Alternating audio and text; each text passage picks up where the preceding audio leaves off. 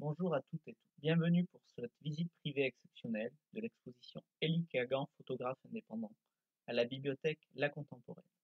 Une très belle exposition à découvrir jusqu'au 7 mai prochain sur le site de l'université Paris-Nanterre au 184 cours Nicole Dreyfus à Nanterre.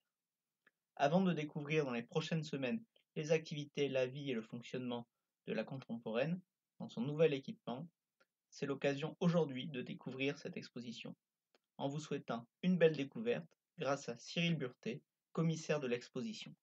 Jusqu'au 7 mai prochain, il y a une exposition, Elie Kagan, un archiviste photographe. Alors déjà, pour commencer, est-ce que vous pouvez nous présenter Elie Kagan, cette personnalité euh, du monde de la photographie, très liée aux archives? Pourquoi ce choix euh, pour l'exposition inaugurale du nouveau bâtiment? Alors exact, parce qu'on a l'habitude à la contemporaine, euh, enseignement BDIC, de proposer des expositions euh, thématiques. C'était le cas de l'exposition Vue du front sur la Première Guerre mondiale ou 1917 sur la Révolution russe. Là, c'est une exposition donc qu'on a l'habitude de dire euh, monographique et non géographique. Donc sur ce photographe qui est décédé en 1999, le, nom, le terme important dans le titre c'est indépendant.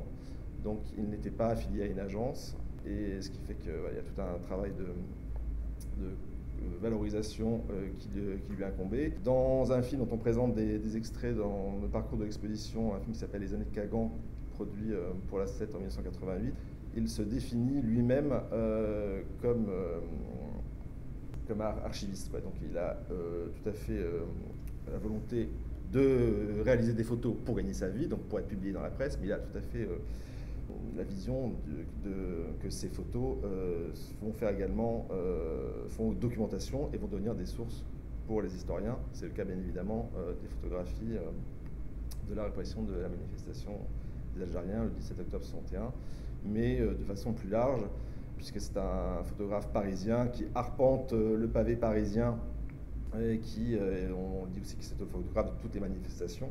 Donc ces photographies sont vraiment une source, source visuelle euh, de, de, la période.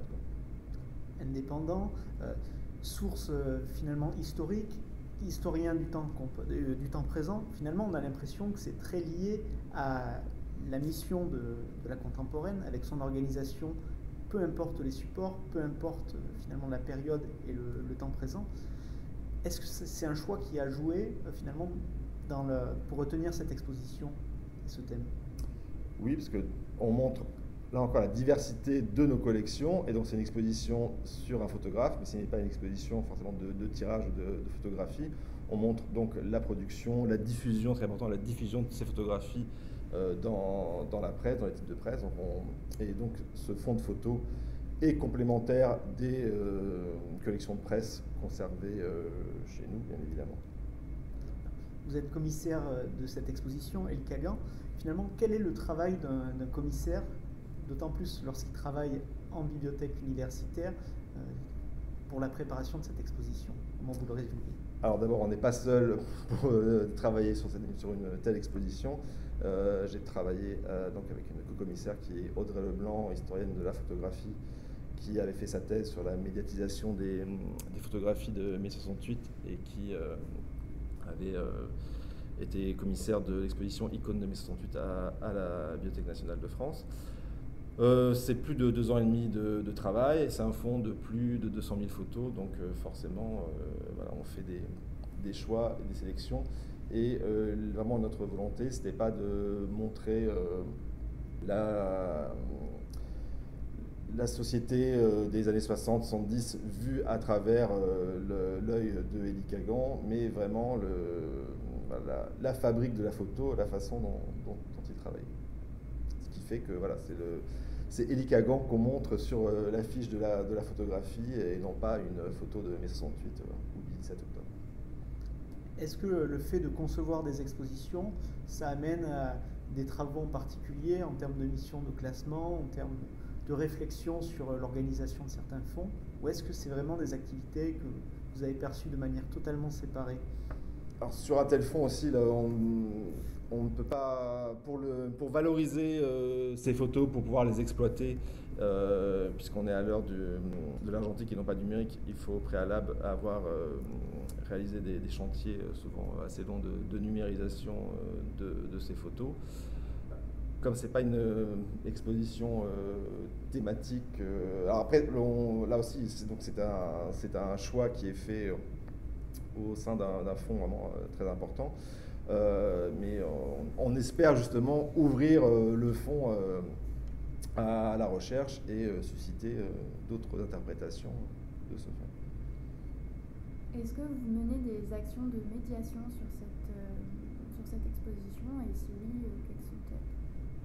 Ben, On propose euh, des visites guidées aussi bien pour le personnel de l'université, pour les étudiants. sur inscription, il y a également des, visites qui sont proposées librement certains samedis. la programmation culturelle qui a été prévue cette année était en lien avec l'exposition, que ce soit des projections de films ou euh, des rencontres. Euh, visite pour les scolaires?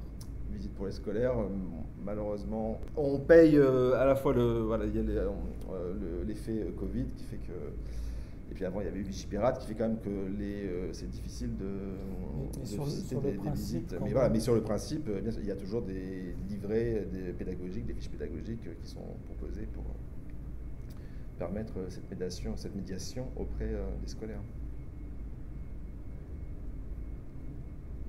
Et quel, euh, quel type de scolaire euh, précisément Plutôt école primaire ou, ou école euh, secondaire Après, tout, dépend du, du, thème des expositions. Non, en principe, c'est quand même plutôt, les ouais, plutôt les lycéens. Après, ça peut être les, les collégiens sur, sur ça. En tout cas, sur, sur Vue du Front, l'exposition sur la Première Guerre mondiale, c'est vrai qu'on avait touché un, un public plus large. Mais là, sur une, ce type d'exposition, en tout cas, on vise plutôt les lycéens. Et sinon, euh, voilà, il devrait y avoir des, actions avec euh, des euh, lycées, des, terminales de, de, Nanterre et de la région autour des photographies du 17 octobre. Vous pouvez retrouver toute l'actualité de la contemporaine sur son site internet présent dans la description de ce podcast. N'hésitez pas à vous rendre sur le site de la Contemporaine dont la salle de lecture est ouverte du lundi au vendredi de 10h à 19h et le samedi de 13h à 19h. L'exposition permanente L'Atelier de l'Histoire est quant à elle ouverte du mardi au samedi de 13h à 19h. Nous remercions Franck Véron et Cyril Burté pour leur intervention ainsi que l'ensemble des membres du Fonds de l'Archive. Si l'épisode vous a plu, n'hésitez pas à le partager sur vos réseaux sociaux favoris ou à nous le mentionner sur Twitter, at le fond de l'archive.